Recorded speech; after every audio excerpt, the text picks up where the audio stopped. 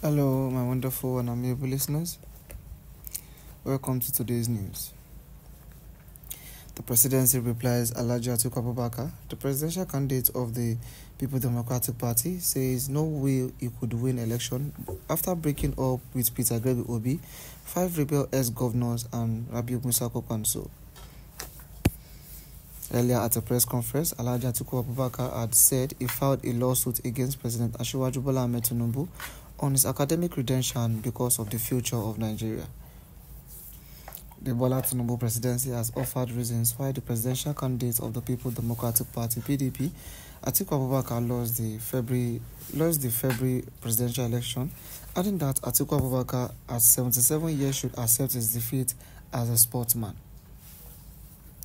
In a release by Bayo Onanuga, the special advisor to the president on information strategy, the presidency said Atiku Abubakar lost because he went into a major election with a fragmented and tattered umbrella that could not hold together.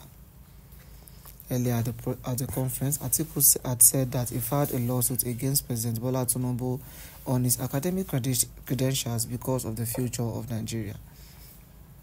Atiku Abubakar had also explained that the, by the judgment of the Supreme Court on the 26th of October 2023, the Apex Court had legalized forgery and illegality giving more reason while he filed lawsuit against Tinubu on his academic credential. He had said, It is not about me, it is about our country, the Federal Republic of Nigeria, and the future. It is the kind of it is about the kind of society we want to live for the next generation and what kind of example we want to set for our children. It is about the reputation of Nigeria and Nigerians in the eyes of the world. But in, in its response, the presidency said Atiku Abubakar finally found his voice after more than 96 hours to respond to his trouncing at the Supreme Court in a landmark judgment on his grossly incompetent election petition appeal. Anuga said we were wrong to expect that Atiku at 77 would play the statesman and sportsman and accept with equanimity the verdict of the highest court and the people of the Federal Republic of Nigeria. Instead, he uh, unashamedly constituted himself into a demagogue and anarchist in the way and, mat- and, and manner he sought to pull down and delegitimize all the institutions of the state, all in a futile bid to achieve what he could not get via the ballot box. We want Alhaji Atiku Abubakar. We want to tell Alhaji Abubakar this: Nigeria is not doomed. It's only Atiku Abubakar's inordinate ambition to be the president that is doomed. The Federal Republic of Nigeria is moving forward and set to achieve its manifest destiny as one of the most respected and successful nations of the world under the leadership of President Asiwaju Bola Ahmed Tinubu. Contrary to Atiku's gloomy submission on our democracy, we are excited to tell the world that our democracy is thriving and blossoming.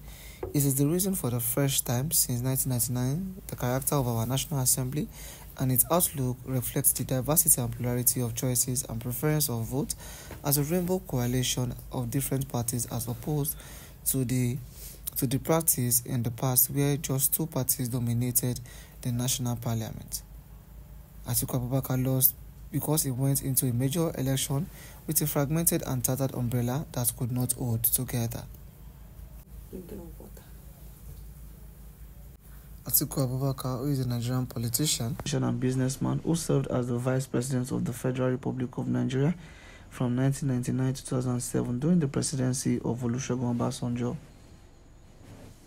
He ran as, an, as a governor of Adamawa State in 1990, 1996, and in 1998 when he was finally elected before he became Olusegun Obasanjo's running mate during the 1999 presidential election and was re-elected in 2003. Atiku Abubakar, who has run unsuccessfully for the President of the Federal Republic of Nigeria six times in 1993, 2007, 2011, 2015, 2019, and 2023. He ran in the Social Democratic Party SDP presidential primaries in 1993 but lost to Moshood Ashbiola and Baba Gana Kingibe.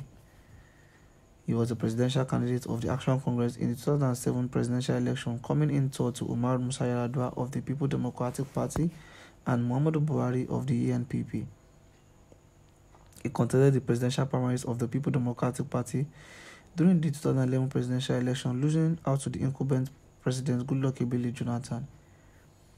In 2014, he joined the All Progressive Congress APC ahead of the 2015 presidential election and contested the presidential primaries, losing to Muhammadu Buhari.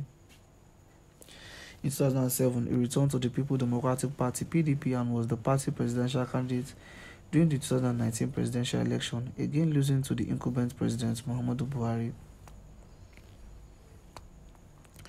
Alhaji Atiku Abubakar, who first foray into, into politics was in the early 1980s when he worked behind the scene on the gov governorship campaign of Bamanga, Bamanga Tukur, who at the time was managing director of the Nigerian Port Authority.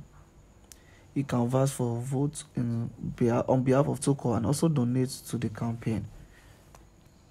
In 1989, Abubakar was elected the national vice chairman of the People Front of Nigeria in the build-up of the Third Republic.